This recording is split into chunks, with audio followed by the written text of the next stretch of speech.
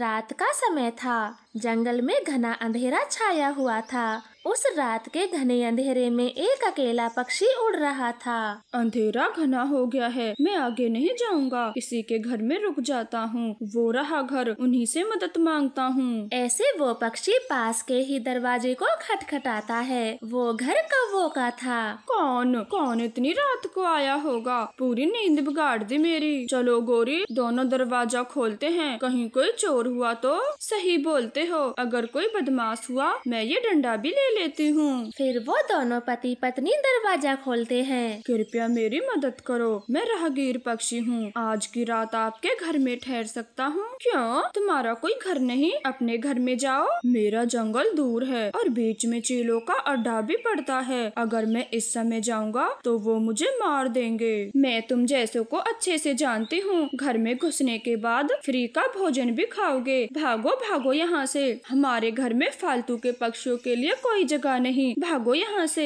ऐसे बोल के गौरी कवि घर का दरवाज़ा बंद कर लेती है। दूसरे चिड़िया का घर था। वो राहगीर पक्षी चिड़िया के घर पर दस्तक देता है। कृपया मेरी मदद करो। आज रात मुझे अपने घर में आसरा दे दो। मैं सुबह को चला जाऊँगा। भाई जी आप मेरे घर में रात बिता सकते हो। आप अंदर आ जाएँ। आपका बहुत बहुत शुक्रिया।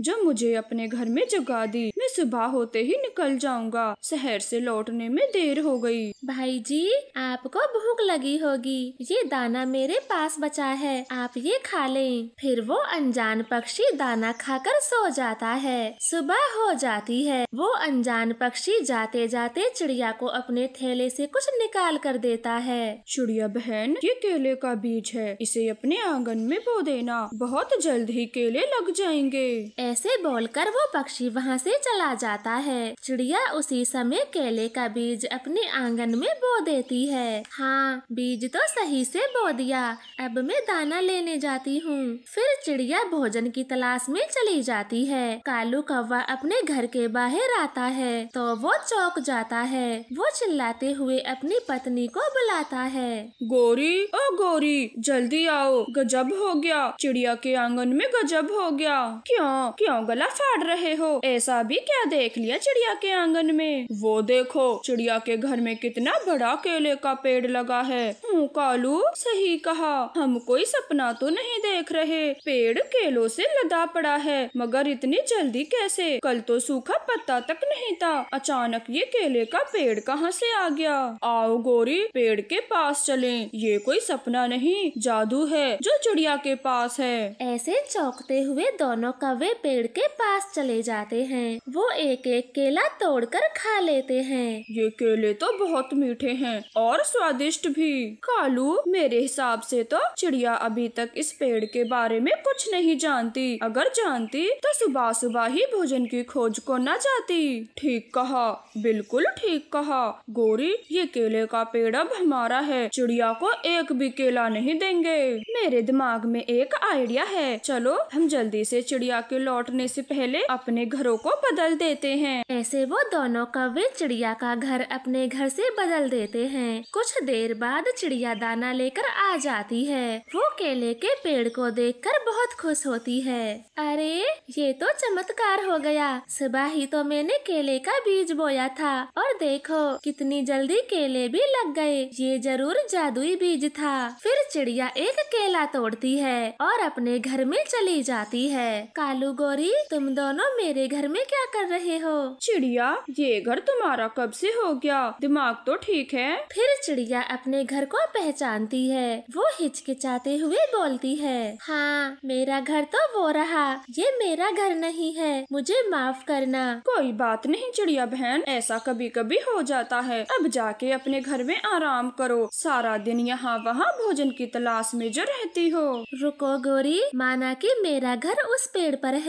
लेकिन मैंने सुबह ही अपने आँगन में केले का पेड़ लगाया था, और वो पेड़ तो यही है। हाँ तो अपने घर के आँगन में जाके देखो, केले का पेड़। ये आँगन तो हमारा है, और ये केले का पेड़ भी। छोटी चिड़िया अब यहाँ से जाती हो? या मैं हल्ला गुल्ला कर दूँ। जंगल के सब पक्षियों को पता है, ये टूटा फूटा घर हमारा ही है, और तुम इसे भी अपना बनाना चाहती हो। ये हो ही नहीं सकता। सब तुम्हारी चाल है। मेरा केले का पेड़ हथियाने की। ऐसे रोती हुई चिड़िया अपने घर में चली जाती है। वो बार बार उस केले के पेड़ को देख रही थी, मगर कौवों से लड़ाई भी नहीं कर सकती थी। उसको अच्छे से पता था। वो बुरे कवे उसे मार लगा देंगे। ऐसे ही कुछ दिन गुजर जाते हैं फिर वो वही पक्षी चिड़िया के घर आता है। अरे आप तो वही हो जो मुझे केले का बीज देकर गए थे। हाँ मैं वही हूँ मगर वो केले का पेड़ तो कहीं नहीं दिख रहा। वो कोई ऐसा वैसा बीज नहीं था जादुई केले का बीज था।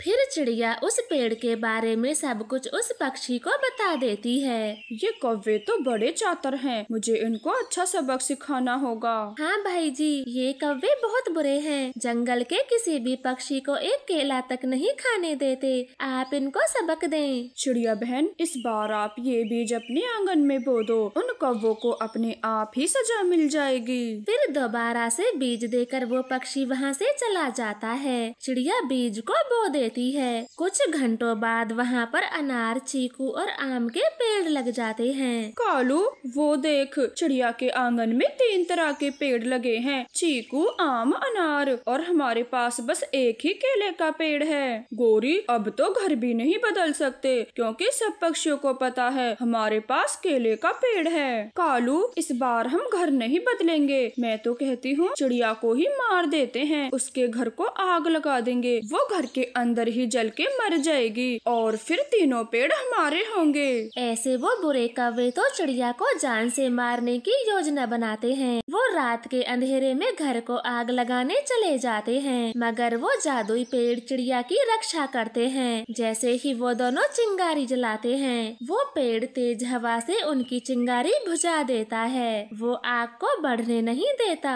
गोरी हवा बहुत ज़्यादा है किसी चीज़ से हवा को रोको तभी तो मैं चिंगारी लगा पाऊँगा। गोरी अपने पंखों को फैला के हवा को रोकती है तभी एक चिंगारी गोरी के पंखों में लग जाती है। वो तो जलने लगती है। आग आग मेरे पंखों में आग लग गई। मुझे बचाओ मैं जल रही हूँ मुझे बचाओ। गौरी कवि की आग बुझाते हुए कालू के पंख भी जल जाते हैं। गौरी कवि की तो मौत हो जाती है। तो प्यारे दोस्तों इस कहानी से हमें सीख मिलती है। कर भला तो हो भला और जो भी दूसरों का बुरा सोचता है उसका खुद का ही बुरा होता है। प्लीज़ वीडियो को लाइक करें और चैनल को सब्सक्राइब करें। आपका धन्यवाद। रानो चिड़िया एक गरीब चिड़िया थी। उसके सारे पड़ोसी लगभग उससे कहीं ज़्यादा अमीर थे। उनमें से कुछ तो बहुत अच्छे पक्षी थे और कुछ बुरे लेकिन उनमें सबसे बुरा कौवों का परिवार था। कालू जी ये गरीब चिड़िया मोहल्ले को छोड़ के कब जाएगी? मुझे अपने घर के सामने रहीस पड़ोसी चाहिए न कि इसके जैसे निहायती गरीब। गोरी आप ये कैसी बातें करती हो? अमीर पड़ोसी क्या तुम्हें खाने को दे जाते हैं? जो छोटी चिड़िया से इतना जलती हो? कालू, आपको उस छोटी चिड़िया से इतना लगाव क्यों है? जबकि मेरे साथ साथ बाकी पड़ोसियों को भी वो बुरी लगती है। गोरी, क्योंकि तुम सब सिर्फ़ चिड़िया के गरीबी को देखते हो। उसका दिल नहीं देखते। कितना मासूम और नेक है। अपने हाथ तक की रोटी दे देती है भिखारियों को, और तुम अमीर, अपने आलस के मारे दरवाज़ा तक नहीं खोलती। तुमसे तो बातें करना ही बेकार है। मैं जा रही हूँ बाज़ार। अपने अमीर पड़ोसियों के लिए गज्जक और मूंगफली लेने। मकर संक्रांति के त्योहार पर सबको बांटूँगी। ऐसे बोलकर गोरी कौवी बाज़ार चली जाती है। कालू कौवा भी अपने दोस्त के घर चला जाता है। मम्मा, आपने वादा किया था, मकर संक्रांति पे मुझे नया बैग और कपड़े ला कर दोगी। आप कुछ भूली तो नहीं हो? नहीं गुड़िया, भूली तो मैं कुछ नहीं। आपके लिए पैसे नहीं जोड़ पाई। अपनी मम्मा को माफ़ कर दो। मैं कितनी बुरी हूँ। प्लीज़ मम्मा ऐसे मत बोलो। आप तो दुनिया की सबसे अच्छी मम्मा हो। मुझे नहीं चाहिए कपड़े बैग। मेरा पुराना बैग बस थोड़ा सा ही तो फटा है। आप उसे सिल देना। मम्मा चिड़िया गुड़िया को गले से लगा लेती है। वो अपनी बेटी को नया बैग और कपड़े दिलाना चाहती थी, मगर उसके पास थोड़े भी पैसे नहीं जमा हो पाते। मैं कालू अंकल के घर जा रही हूँ, थोड़ी देर में वापस आ जाऊँगी। आप घर पर ही रहना। ऐसे बोलकर रानो चिड़िया कालू कौवे के घर चली जाती है। वो थोड़े पैसे उधार कौवों से लेना चाहती थी। उसी समय गौरी भी ढेर सारी खरीदारी करके घर आती है। गरीब चिड़िया तुम अब क्या मांगने आई हो? गौरी बहन मुझे अपनी गुड़िया को बैग और नए कपड़े दिलवाने हैं। बस थोड़े पैसे उधार लेने आई हूँ। रानो पैसे तो मैं तुझे नहीं दे सकती लेकिन तेरे लायक मैं एक काम बता सकती हूँ। जल्दी बताएँ गौरी बहन मेरे लायक क्या काम है? मैं ज़रूर करूँगी। रानो तू बड़े बड़े घरों में भीख मांगना शुरू कर दे। माना सब थोड़ा थोड़ा देंगे मगर तेरे पास तो बहुत सारे रुपए जमा हो जाएँगे और तू जंगल की सबसे अमीर पक्षी बन जाएगी। पर हाँ ये मोहल्ला छोड़ देना। भिखारियों का अलग ही ठिकाना होता है। गौरी की ऐसी बातें सुनकर रानो की आँखों में आँसू आ जाते हैं। गौरी बहन, मैं तो आपसे उधार मांगने आई थी, जिसे मैं समय के रहते चुका देती। मैं भीख मांगने की सलाह लेने नहीं आई। अपनी बच्ची का गुजारा मैं कर सकती हूँ। ऐसे बोलकर रानो चिड़िया वहाँ से चली जाती है। कालू कौवा सारी बातें सुन रहा था। मगर वो चाहकर भी रानो की मदद नहीं कर पाता। कबूतर भैया, मुझे पाँच सौ रूपए उधार चाहिए। थोड़ा ज़रूरी काम है। मैं एक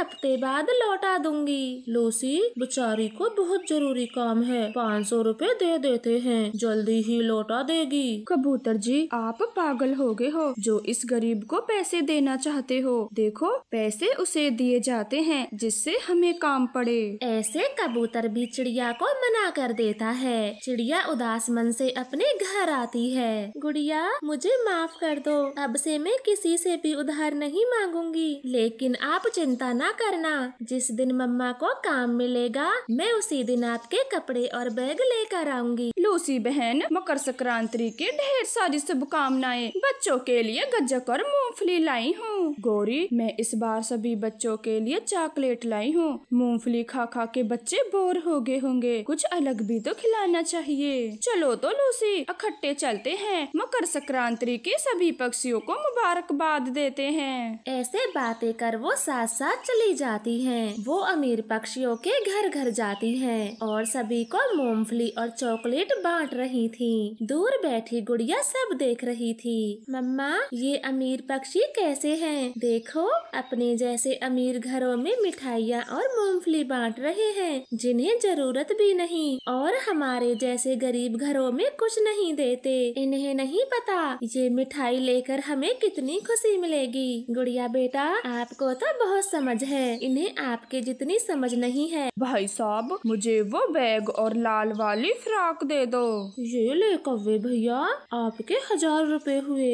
वो दुकानदार कालू से ऐसे बोलता है। तभी मिट्ठू कबूतर भी वहाँ आ जाते हैं। अरे भाई भाई जल्दी से मुझे वो बैग और पीली वाली फ्रॉक दे दें जल्दी। फिर दुकानदार उसे वही कपड़े दे देता है और तभी मिट्ठू बोलता है, मुझे एक बैग और हरी वाली फ्रॉक दे दो, थोड़ा जल्दी करो। वो सब एक दूसरे को देखते हैं और समझ जाते हैं। आप दोनों ये रानो चिड़िया की बेटी के लिए लेकर जा रहे हो ना?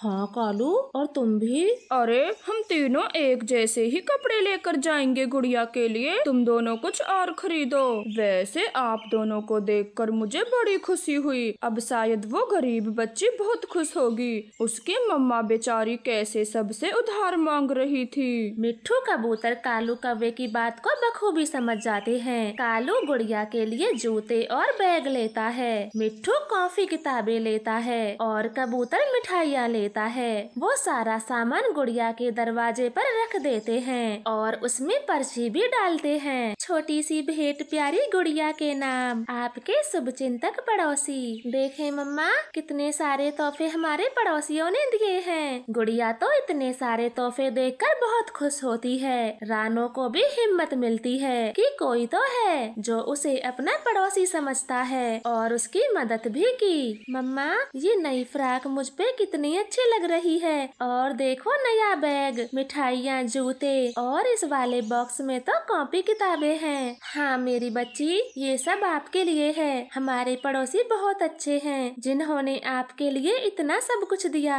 गुड़िया तो वो नई फ्रॉक पहनकर बहुत खुश थी। वो आते जाते सभी पक्षियों को हैप्पी मकर संक्रांति बोल रही थी। Kalu uncle, happy Makar Sankranti. Same to you गुड़िया बेटा सेम टू यू आप हज़ारों साल जियो। खुश रहो, हमेशा खुश रहो। प्यारे दोस्तों, आप सबको हमारी तरफ़ से मकर संक्रांति दिवस की ढेर सारी शुभकामनाएँ। प्लीज़ हमारे चैनल को सब्सक्राइब करें। आपका धन्यवाद। जंगल में एक विशाल बरगद का पेड़ था। सभी पक्षी बारिशों के मौसम में उसी पेड़ पर अपना घोंसला बनाते, क्योंकि बरगद का पेड़ सभी पक्षियों के घोंसलों को सुरक्षित रखा उसी पेड़ के खोखल में एक बूढ़ा गिद्ध भी रहने आ जाता है। चिड़िया, जब से ये मरा गिद्ध इस खोखल में आया है मेरा तो कहीं भी जाने का मन नहीं करता। हाँ गोरी मुझे भी बहुत डर लगता है लेकिन अब हम क्या करें? ऐसे तो नहीं बैठ सकते। भोजन तो लाना ही पड़ेगा वरना हमारे छोटे छोटे बच्चे भूख से मर जाएँगे। और छोड़ के गए तो ये गिद्ध बच्चों को खा जाएगा। मैं तो कहती हूँ सहेलियों हमको ये पेड़ ही बदल देना चाहिए। अपने घोंसले किसी दूसरे पेड़ पे बनाने चाहिए। बूढ़ा गिद्ध उनकी सारी बातें सुन रहा था और उन्हें आवाज़ देकर नीचे बुलाता है। देखें पक्षियों आपको मुझसे डरने की कोई ज़रूरत नहीं। मैं बहुत बूढ़ा हो चुका हूँ तो आपके बच्चे क्या ही खाऊँगा? मुझसे तो ठीक से उड़ा भी नहीं जाता। तो आपके बच्चों को कैसे खाऊँगा? रानो चिड़िया बात तो ये ठीक कहता है बूढ़ा गिद्ध। जब से आया है इसी खोकल में है। मैंने तो इसे कहीं उड़ते हुए भी नहीं देखा। सभी पक्षी उस बूढ़े गिद्ध की बातें मान लेते हैं और भोजन की तलाश में चले जाते हैं। वो शाम को भोजन लेकर घर आते हैं। गौरी बहन गिद्ध ने ठीक ही कहा था। वो बहुत बूढ़ा है। वो तो अपने लिए भोजन ढूँढने भी नहीं जाता। हाँ रानो बुढ़ापे में बहुत कमज़ोर हो गया है बेचारा। ठीक से अपना पेट भी नहीं भर पाता। लूसी बहन मैंने सोचा है हम सब आज से बूढ़े गिद्ध के लिए भी थोड़ा थोड़ा भोजन लाया करेंगे। ऐसे उसका पेट भी भरता रहेगा। हाँ रानो ये तो आपने बहुत अच्छा सोचा है। ऐसे वो बूढ़ा गिद्ध भूखा भी नहीं मरेगा क्या खाक ठीक सोचा है? हम उसे भोजन दें और वो तंदुरुस्त होकर हमारे ही बच्चों को खाएगा। ना बाबा ना। मैं उसे अपना भोजन नहीं दूँगी। उसे ऐसे ही भूखा मर जाने दो। गौरी हमें हमारे बच्चों की बहुत चिंता है मगर मुझे उस बूढ़े गिद्ध पर दिया आती है। वो जब से आया है खोकल से कहीं नहीं गया। वो भूखा है। और सबसे बड़ी बात वो हमारे साथ ही रहता है। हाँ रानो हम इस गौरी की बात नहीं मानेंगे। चलो बूढ़े गिद्ध को थोड़ा भोजन देकर आते हैं। फिर रानो लूसी और हरियाली अपने घोंसले से थोड़ा थोड़ा भोजन जमा करती हैं और गिद्ध के खोकल में ले जाती हैं। आप ये भोजन मेरे लिए लाए हो? हाँ बूढ़े गिद्ध हम आपको और भूखा नहीं देख सकते। आप ये भोजन खा लें। बूढ़ा गिद्ध कई दिनों से भूखा था। वो झट से उनका सारा भोजन खा जाता है। आपका बहुत बहुत धन्यवाद। मुझे बहुत जोरों की भूख लगी थी। बूढ़े गिद्ध जी माना कि आप बहुत बूढ़े हो चुके हो। मगर अपने जीने के लिए तो दाना ला ही सकते हो। बेटा, मेरी तबीयत कई दिनों से खराब है, इसलिए पंखों के साथ साथ पैरों ने भी साथ छोड़ दिया। जब तक मैं ठीक नहीं होता, मैं कहीं नहीं जा सकता। बूढ़े गिद्ध जी, अगर आप हमें अपनी तबीयत के बारे में पहले बता देते तो मैं आपके लिए काले फूलों का रस ले आती। उसे पीने के बाद आप एकदम स्वस्थ हो जाते। मुझे लगा नहीं था, आप इतने अच्छे और नेक दिल पक्षी होंगे। मुझे भोजन खिलाने के लिए धन्यवाद। फिर वो सारे पक्षी अपने अपने घोंसलों में चले जाते हैं और सो जाते हैं। अगली सुबह वो फिर से भोजन की खोज में जाते हैं। अब तो वो हर रोज बूढ़े गिद्ध के लिए दाना लाने लगे थे, जिसे खाकर बूढ़ा गिद्ध स्वस्थ हो जाता है। आप सब कितने अच्छे हैं। मुझे भोजन भी देते हैं और छोटी चिड़िया, आपने मुझे दवा भी दी। तुम्हारा एहसान मैं कभी नहीं भूलूँगा। आप हमें शर्मिंदा न करें। असहाव की मदद तो हर किसी को करनी चाहिए। ऐसे गिद्ध और उन सभी पक्षियों में दोस्ती हो जाती है। सभी पक्षी बच्चे गिद्ध को बहुत पसंद करने लगे थे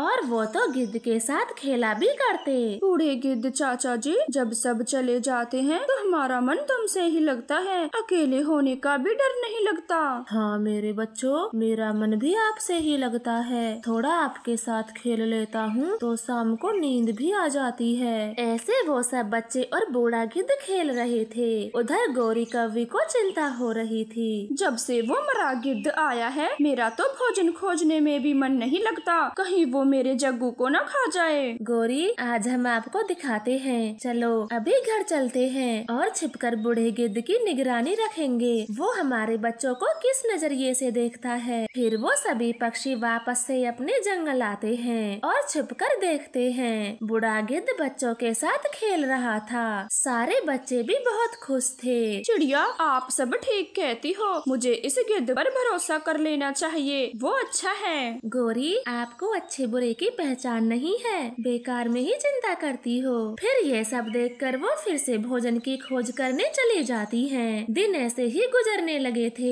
एक दिन बिल्ली मौसी बूढ़े गिद्ध और बच्चों को छिपकर देख रही थी। ये पक्षी तो बहुत बेवकूफ़ लगते हैं। आसानी से मेरी बातों में आ जाएँगे। और मैं इनसे दोस्ती कर लूँगी। एक एक करके सारे बच्चों को खा जाऊँगी। ऐसे योजना कर बिल्ली उसी पेड़ के पास आती है और कहने लगती है मेरा इस दुनिया में कोई नहीं है। मैं अकेली हूँ। कोई तो मुझसे दोस्ती कर लो। मुझे अच्छे बुरे की पहचान है। इससे पहले कोई और दोस्ती का हाथ आगे बढ़ाए मैं ही करूँगी इस बिल्ली से दोस्ती। गौरी ऐसे सोचते हुए पेड़ से नीचे आती है और बिल्ली से दोस्ती कर लेती है। उसे ऐसा करते देख सभी पक्षी तुरंत ही नीचे आते हैं। गोरी, आज ये क्या कर रही हो? बिल्ली से दोस्ती, ये हमारे बच्चों को खा जाएगी। अरे नहीं नहीं चिड़िया, मैंने मांस खाना छोड़ दिया है। मैं तो गंगा जी भी नहा कर आई हूँ। मैं आपके बच्चों को कैसे खा सकती हूँ? ना बाबा, ना। मैं ये घोर पाप नहीं कर सकती सुन लिया आप सबने मेरी बिल्ली दोस्त गंगा जी नहा कर आई है। और तुम्हारा बूढ़ा गिद्ध तो नदी से भी नहीं नहाता। बिल्ली जी, हमारी दोस्ती पक्की। गोरी, हम कब मना कर रहे हैं, जो हमें टेढ़ा टेढ़ा देख रही हो। चलो, अब भोजन लेने चलते हैं। फिर वो सभी बिल्ली से भी दोस्ती कर लेते हैं और भोजन की खोज में चले जाते हैं। बिल्ली तो मन ही मन बहुत खुश हो रही थी और बच्चों के साथ खेलने का नाटक करती है। तभी आँख बचाकर उनमें से एक बच्चे को ले जाकर झाड़ियों में खा जाती है। ये बच्चा कितना स्वादिष्ट था। अब से तो हर रोज मेरी दावत होगी, मगर इस हड्डी का क्या करूँ? उस बूढ़े गिद्ध के खोखल में डाल देती हूँ। अगर किसी को पता भी चलेगा तो उसे ही पकड़ेंगे। ऐसे सोचकर बिल्ली चुपके से हड्डी बूढ़े गिद्ध के खोखल में छुपा देती है। अब से हर रोज वो ऐसा ही करने लगी थी। वो कई सारे बच्चों को खा जाती है। पक्षियों को बच्चे गायब होने का शक होता है। वो दोनों से पूछताछ करते हैं। हमारे कई पक्षी बच्चे गायब हैं। आपको कुछ पता है? हम तो सारा दिन बच्चों के साथ खेलते हैं। हाँ कुछ बच्चे नीचे नहीं आते। अकेले देखकर कोई चील उठा कर ले गई होगी। हम पे शक न करें। हाँ हाँ मेरी बिल्ली दोस्त ठीक कहती है। मैं तो कहती हूँ, हमें सभी बच्चों को इनके पास ही छोड़कर जाना चाहिए। वो सेफ़ रहेंगे। किसी चील का भी डर नहीं रहेगा। सब पक्षी गौरी की बातें मान लेते हैं और सभी बच्चों को बिल्ली और गिद्ध के पास छोड़कर जाने लगते हैं। मगर बच्चे तो अभी भी गायब हो रहे थे। गौरी, मुनमुन के सात बच्चे थे। आज गिना तो छह ही पाए लगता है ये बिल्ली हमारे बच्चे खा रही है। बिल्ली को ही गलत ना समझो। वो बूढ़ा गिद्ध भी तो हो सकता है। मैं तो कहती हूँ दोनों के घरों की तलाशी लें। फिर वो सारे पक्षी दोनों के घरों की तलाशी लेते हैं। बिल्ली के घर में तो कुछ नहीं मिलता लेकिन बूढ़े गिद्ध के घर में काफ़ी सारे बच्चों की हड्डियाँ मिलती हैं। मुझे तो इस गिद्ध पे पहले ही विश्वास नहीं था। आपने ही मेरी बात ना सुनी। अब इस गिद्ध को फांसी की सजा दें। हाँ गौरी आपने ठीक कहा। हमने ही इस पे विश्वास करके बहुत गलत किया। मैंने कुछ नहीं किया। मुझे नहीं पता ये हड्डियाँ मेरे घर में कहाँ से आई। बूढ़े गिद्ध ने ऐसा बोला ही था। तभी बिल्ली भी बोल पड़ती है। हाँ मैंने भी आज इसके खोखल से चू चू की आवाज़ सुनी थी, मगर मुझे तो विश्वास नहीं था। ये नन्हे मुन्ने बच्चे खा सकता है। सभी पक्षियों को बिल्ली की बातें ठीक लगती हैं, और वो बूढ़े गिद्ध को फांसी दे देते हैं, और बिल्ली तो साफ़ बच जाती है। बहुत दिन हो गए चिड़िया के बच्चे खाते खाते। आज तो मैं ये कव्वे का बच्चा खाऊँगी। ऐसे सोचकर बिल्ली गौरी के बेटे को पकड़कर अपने घर में ले जाती है। आज सभी पक्षियों को भोजन जल्द ही मिल गया था तो वो भी अपने घरों को लौट रहे थे। और वो जग्गू कौवे को गायब देखकर बिल्ली के घर जाते हैं। बिल्ली तो जग्गू कौवे को खा रही थी। सत्यानाश हो तेरा। मेरा बच्चा खागी। सभी पक्षियों को बहुत गुस्सा आ रहा था। वो बिल्ली को दबोच लेते हैं और चोंच मार मार कर उसकी हत्या कर देते हैं। दोस्तों, इस चालाक बिल्ली की वजह से बेचारे बूढ़े गिद्ध को अपनी जान गंवानी पड़ी। मुझे तो इस पे पहले से ही शक था, मगर मेरी बात कोई नहीं मानता।